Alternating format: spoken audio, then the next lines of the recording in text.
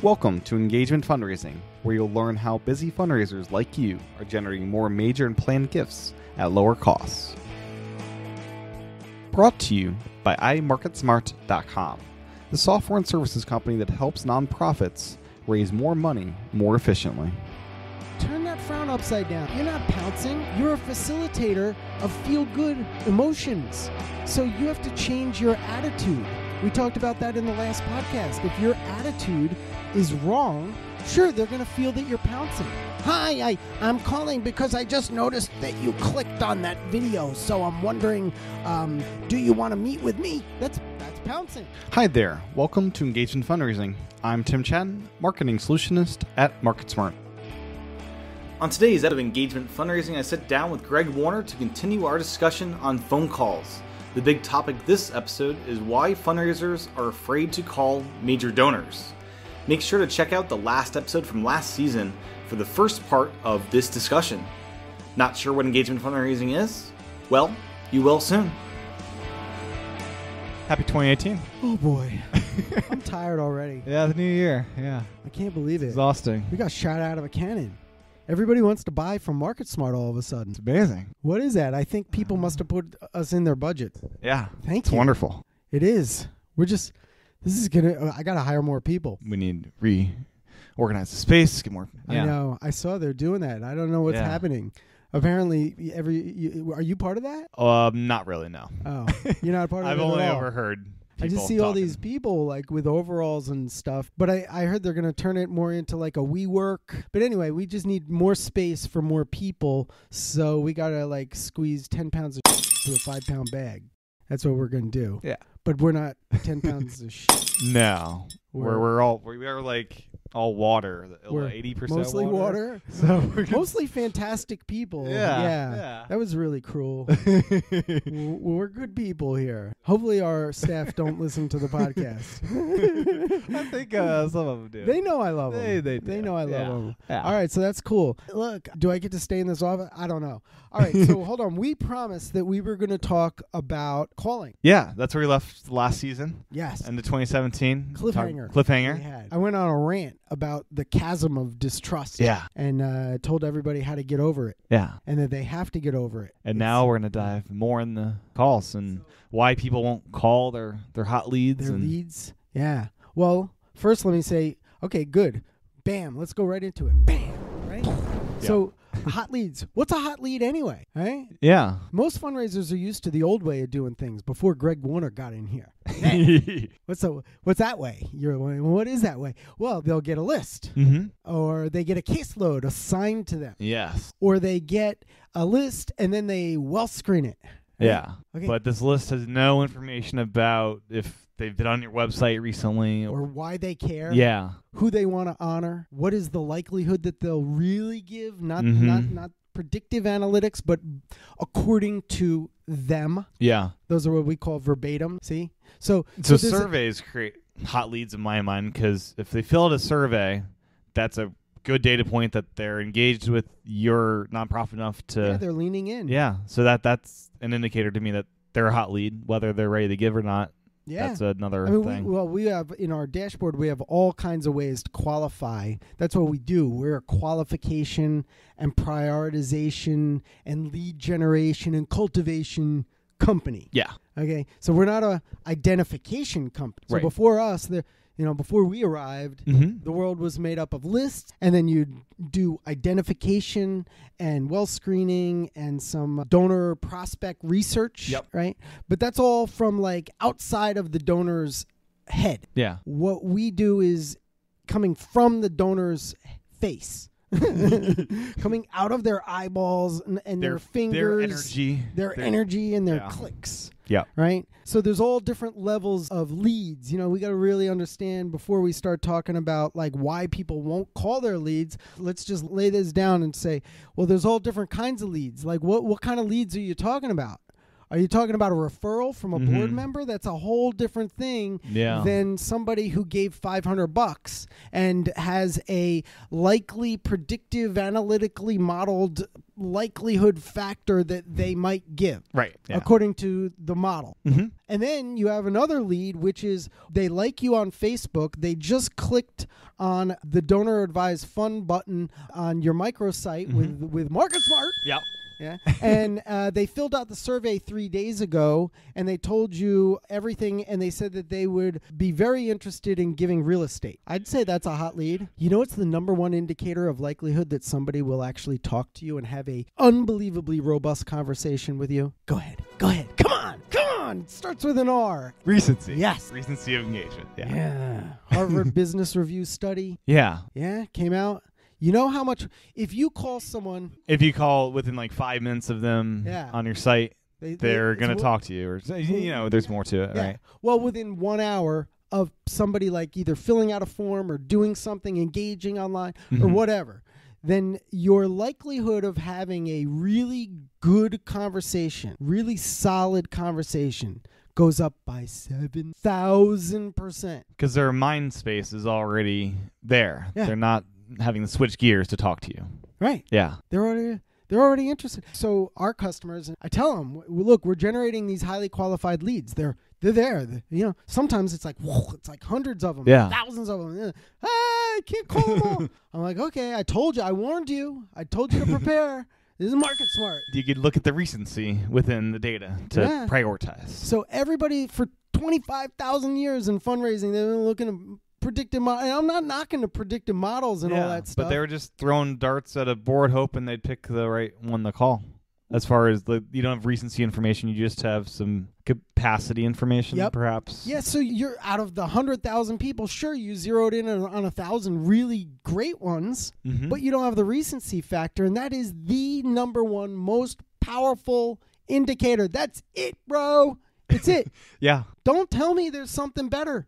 There isn't. I haven't found it, and I've looked. Mm-hmm. Yeah. Unless they drive through your window in their car, that's a likely indicator that they'll talk to you. Yeah. yeah. they're knocking on the front door. There, congratulations. But otherwise, if they are active and they watch, just watch the video of the little girl who needs a sandwich. Mhm. Okay, she's crying. Call her, Yeah. and then the fundraisers say, "Oh no, that, that that seems like I'm I'm rather you know." Too fast, and I don't want to seem like I'm, you know, hounding on them and like a hawk and pouncing. And I said, no, no, no. That just shows your responsive, well operating organization. Yeah, and it shows customer service, Mm-hmm. caring, and by the way, turn that frown upside down. You're not pouncing, you're a facilitator of feel good emotions. Yeah. So you have to change your attitude. We talked about that in the last podcast. If your attitude is wrong, sure they're going to feel that you're pouncing. Mhm. Hi, I I'm calling because I just noticed that you clicked on that video, so I'm wondering um, do you want to meet with me? That's that's pouncing. But if you say Hi, Mrs. Johnson. This is Greg Warner. I'm calling from XYZ organization because I just got a notification that you downloaded our free little workbook that helps people, you know, create their autobiography for their children and their grandchildren so that they can really like leave their life story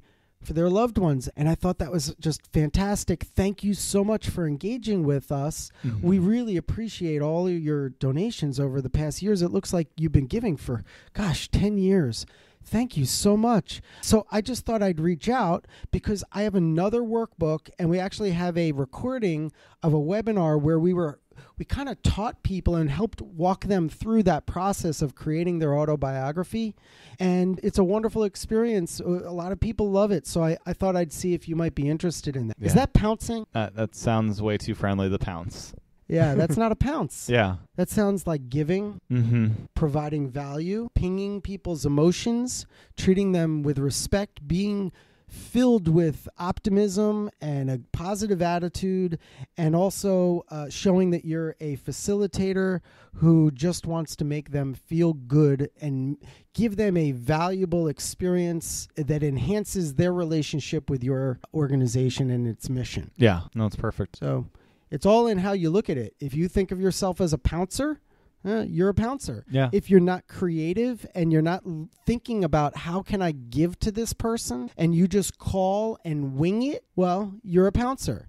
But if you Mhm. actually sit back for just a minute, look, you're a highly skilled surgeon if you're a major gift and legacy gift fundraiser. You get paid a pretty good sum of money. Yeah. You're not a twelve dollar an hour No. telemarketer.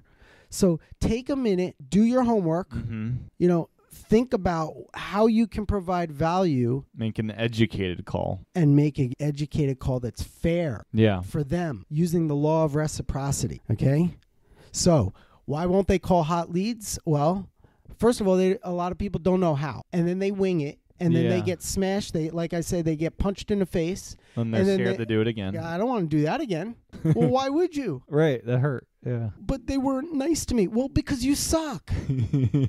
yeah. You deserve to get punched in the face. That's how you learn. Well, not everybody. Some people, Some people. the ones who listen to this podcast. Yeah. Hey, I love you, podcast people. Six of you. No. More than six. Yeah, I know. yeah, I know. You, that's your badge of honor. The thousands of people. Yes. Thank you, Tim, for building this uh, audience for me, for us. Us, yes. All right. You want to go like make a list of all the reasons why people won't call leads? Yeah. Okay. What else would make people not want to call? Let me tell you something about sales, and then I'll tell you something about fundraising. Okay. So I'm going to go down a rabbit hole. Okay. This might have to be a 10 part podcast.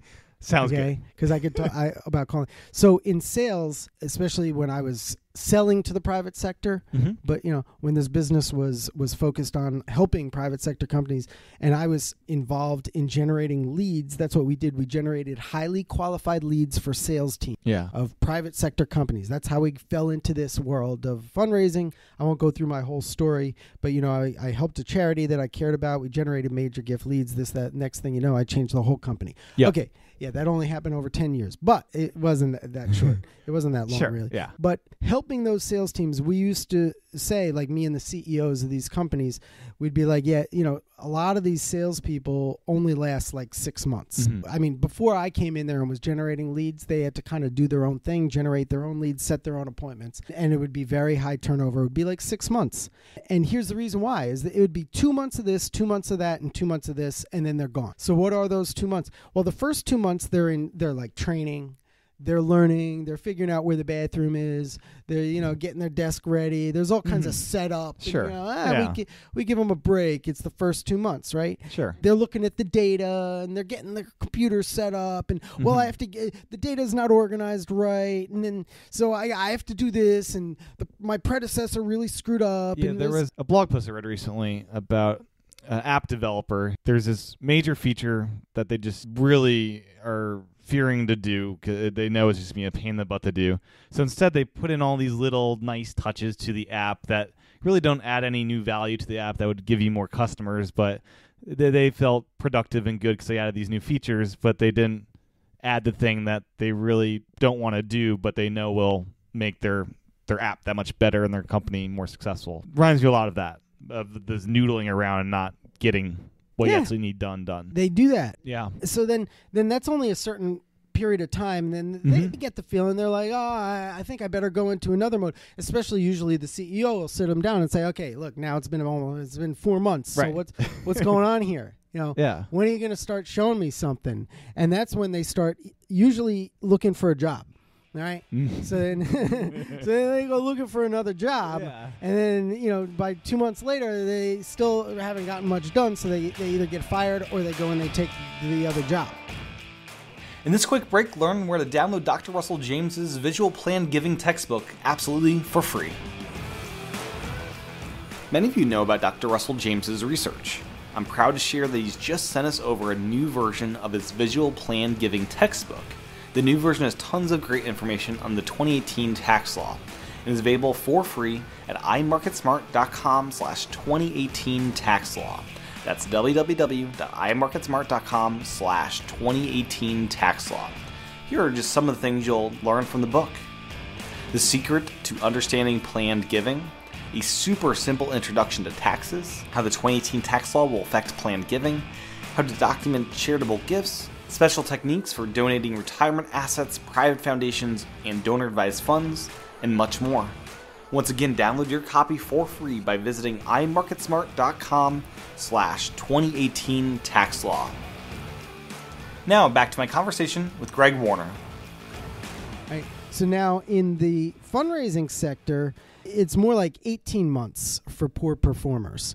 It's kind of like, okay, so the first six months, and as yeah, things move a little slower. They must be like So- experts at finding jobs, though. That's got to uh, be quite well, the skill. I mean, first of all, they they are experts, but also there is a high demand Mm, yeah, for people with these skills. yeah, Okay, very high demand, and there's a lot of placement companies Mhm. that's their job is to find them and move somebody around all right so but I, look i'm not trying to bet remember this is just a certain percentage of the market hopefully most fundraisers are really good professionals but i bet Yeah. all of us have met people who kind of fit this profiles they get in there for six months and everything's wrong. Everything's their predecessors screwed everything up. Everything Yeah. has to be kind of like redone. They're, they're like getting ready to get ready you know for six months. They have to do the database. They have to do this. They have to get their wealth screening done. They they can't make their calls yet because the Mhm. table is not set Yeah, you know they can't right. they can't do anything. So that lasts for about six months and then then the next board meeting comes around. That's always an impetus to you know get something done. So now they got all the stuff and the and the board will, or somebody will say okay so what's going on now? Well okay i got everything ready. So but now we need to do some analysis and we need to like you were calling it noodling. Yeah. so now we need to noodle the data, and we have a meeting with the the people who gave us the data. So that's in two weeks, and then we're going to understand more about the data, and then and then I'll be able to plan. And then I think what I'll do is I'll probably send some letters out. So then I, I can't call until the letters go out because it's it's inappropriate for me to call someone. I mean, just out of the blue. I mean, you got to be professional. These are wealthy people. We, You know, blah blah blah. So then we do all that, and then another six months of that, and then finally, you know, maybe start making some calls. They do it poorly. They get punched in the face. Ah, I don't want to make any ALOs. You know, and then they start finding some other project, and all of a sudden they're involved in the, the event. It's like, well, hold on. I thought you're supposed to be meeting with major donors. Oh no, no, no. I got sucked into helping out with these nap folding these napkins. Unbelievable. I'd really rather be out with major donors. I can't believe I'm getting sucked into right? Yeah. By the way, that's when they start looking for the job. Right. Yeah. It's like, uh oh, oh, they're on me. Yeah. Yeah.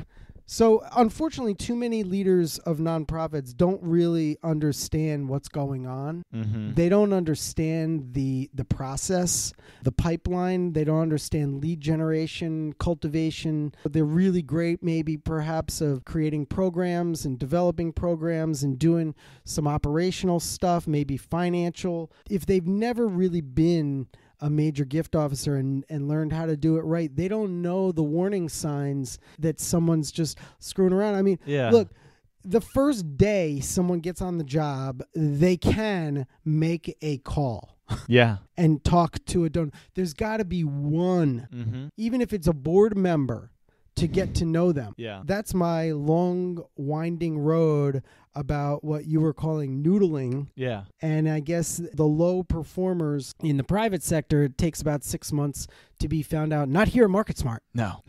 I mean, I can find out five days. We've had some people last. I think it was the shortest time was maybe three days. Yeah. I Yeah. was like, I was like, dude, are you kidding me? you promised all this stuff. All of a sudden, you walk through this threshold. You like went into another dimension. All of a sudden, you're a different person than the person I interviewed. What happened to that guy? I like that guy. I want that guy. right. Yeah. Well, where, where, where, where'd he go? Some salespeople, they're just really good at selling themselves. They're and- good at and- getting and- jobs. and that, that's that's what they're good at. Yeah, it's like congratulations, but that product sucks. yeah. You know? It's like an empty box. You open a box. Where is it? I lost it. It's like a pet rock. Yeah. Nothing. Nothing. No. Paid for nothing. So you you got to find that out fast. You owe it to the donors who are paying that person's paycheck to figure out if they really know what they're doing. Mm-hmm. There's not a lot of hot air. There's a lot of people with hot air. They've read all the books. They know how to regurgitate it, and then they get in there.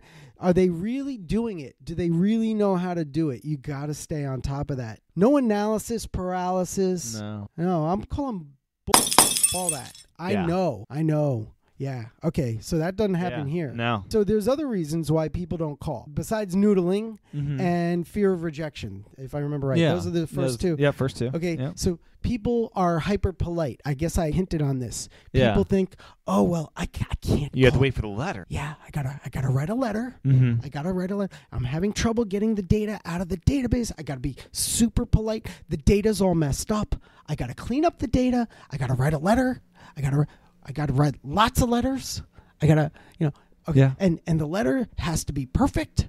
And I need my, Mm-hmm. I cannot call somebody unless they first introduction letter. That the hyper polite way to be. And calling is very disruptive towards their, their life, so I'm not going to interrupt them. Yes, They've got a want- busy These schedule. are wealthy people. I cannot interrupt them. no. They're not human. I mean, they have a particular hatred for interruptions because they're wealthy. See, wealthy people more sensitive to interruptions for some reason. Yeah. I think I buy that one. No, Yeah, they're, no. They're, they're not. I've seen them, you know, in a, at the So- country club. Some are very chatty. Some wealthy people love to talk. yeah. They're they're very good people. People You know what's the best way to get, uh, especially an entrepreneur, best best way to get them to talk? ask them about their business. Yeah. Yeah. Ask them how they how they, how they started it and how they created it.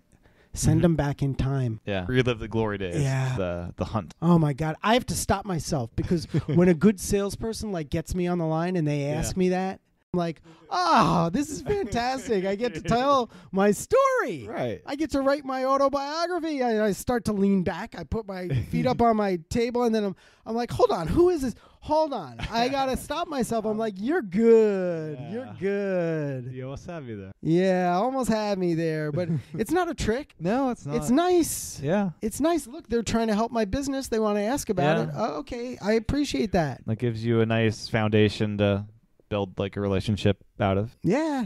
But my problem is I don't have a lot of time. Right. So then all of a sudden 30 minutes goes by there's seven people outside my door and I see you all knocking on the window and you guys make these little signs and you're like, "Greg, you're late for this or you screwed up that," right? Yeah.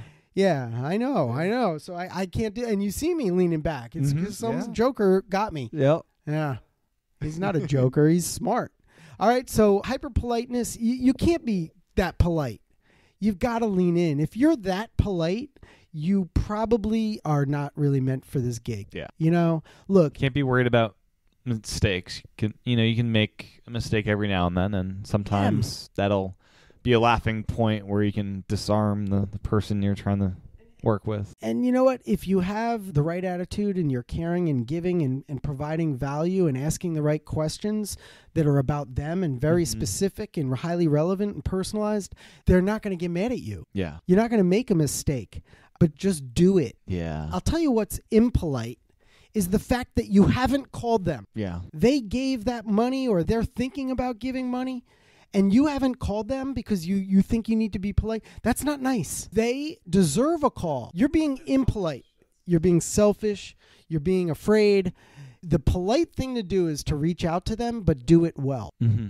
Yeah. All right? And then there's the hyper professionalism. Mm, yeah. It's kind of like hyper politeness. Everything is completely perfect. Yeah. Uh, I need to make sure that my approach is and and and we just talked about how everything needs to be relevant and this and that and the other thing. Yeah. But the hyper professionalism is actually opposite of authenticity. yeah. You know what I mean? So you can't sound rehearsed and like like you're uber professional. People want to Yeah. deal with real people, Mhm. not professional butlers and machines. Yeah. So I guess the Is it like calling their secretary or to make sure that you can schedule an appointment with them? This is Greg Warner. I'm calling because I, I would like to set an appointment with Mrs. Watson, please. Oh, you know, so professional. Right. Come on. Yeah. This is 2018. Yeah. Just Yeah, be just be a Be person. genuine. You Yeah. you got CEOs that all wear hoodies and t-shirts and sneakers now. Yeah. You know, Blue even jeans, even old yeah. ones like me, right? Look, Sure. I got a hole in my jeans. Yeah. I'm wearing my running shoes. and I Right, got my hoodie. There you go. There. I'm the prototypical. Uh, Mark, Mark Zuckerberg. Yeah, I, I mean, sometimes I wear a suit, but I That's don't, true. I don't like to. Yeah. It's not this day and age. No. So just, I guess the answer for the hyper professionalism is be authentic. Mm-hmm. Yeah. Be authentic. Be real. Then you get the the self conscious. So here's another reason, right? Yeah. I, I don't want them to think this, or I don't want them to think that, or this is a very important person. I'm Mhm. I, I need to really be self conscious about this. I mean, they're very famous. Yeah. They're very wealthy and they don't go to the bathroom. They they don't brush their teeth. I mean, they're God like creatures. They just shut down with fear. And I can't believe that I, I can't believe I would be allowed to talk to them. I'm just a mere mortal. So they're very self conscious Yeah. about that. And that prevents them from calling. It's like, Yeah. well, again, if that's the way you feel, either you got to get over that or you got to get out of this job. Right. Uh, you know, you're in the wrong what- role. That's what you're doing. You're talking to wealthy people. That's your job. They're, they're just They're people. just people Yeah. with different goals in mind. Or they inherited it. Or they inherited it. That's another possibility. A lot of wealthy people just inherited it. I hate to say it, but, you know, what I have found, Yeah. uh, there's probably research on this, but the ones who inherited it, Don't keep it. uh, well, uh, they don't give it as much. Yeah, that's yeah. Finishing my sentence. Sorry, I. You said last year, yeah, it's tw- you were gonna. Last year, you said you were not gonna finish my sentences.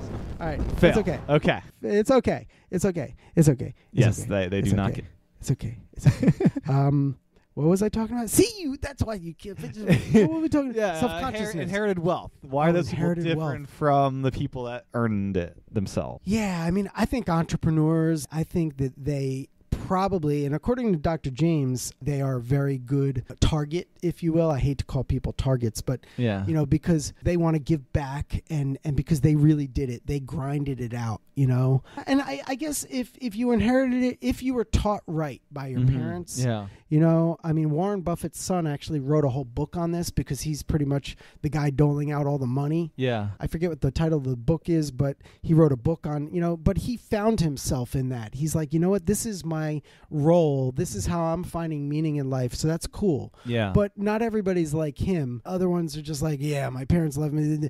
I just want to spend it. I don't want to deal with this, right. you know? So, um, anyway, yeah, be authentic. Mm-hmm. I think most people who are really trying to make a meaningful impact in the world are going to appre- appreciate that. Yeah. So let's see. That's all I got for like Yeah. why people won't call Right. leads. Fear is like what it comes down to most of the time. Yeah, fear, uh, but fear is because they didn't put their head on right. Yeah. If you screw your head on right and you have that, uh, I hate to sound repetitive, but Mhm. you have a giving attitude. Yeah. You have an attitude that you're there for them. You show them that you know them. You do your research. You figure out what value you can provide that would be highly relevant, highly personalized, and make them feel good in capital letters make them feel good.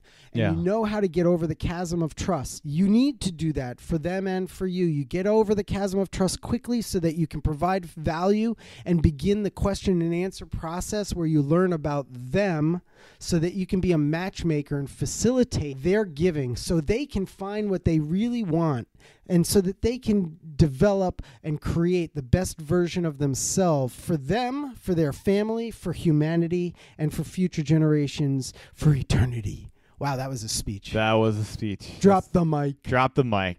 Goodbye. Bye. Thanks for listening to this episode of Engagement Fundraising. If you like the show, make sure to review it on iTunes and pass along to a colleague. If you're curious about what we do, make sure to check out imarketsmart.com and make sure to check out the Visual Planned Giving textbook updated for the 2018 tax law found at imarketsmart.com slash 2018 tax law. Thanks again for listening to Engagement Fundraising.